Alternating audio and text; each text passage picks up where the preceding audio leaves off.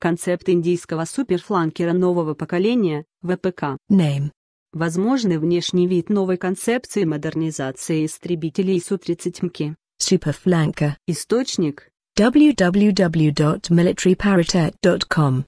alt equals src equals http colon slash slash vpk.name slash file slash img slash super underscore flanker dot t dot jpg. Возможный внешний вид новой концепции модернизации истребителей Су-30МК. Superflanker. Источник. www.militaryparitet.com. В индийских форумах появился возможный внешний вид новой концепции модернизации истребителей Су-30МК, которая именуется как Superflanker. Этот концепт может быть реализован в долгом ожидании истребителей пятого поколения. FGFA. Сообщалось, что в ВВС Индии есть планы радикальной модернизации боевых самолетов Су-30 МК с установкой бортового радара с активной фар.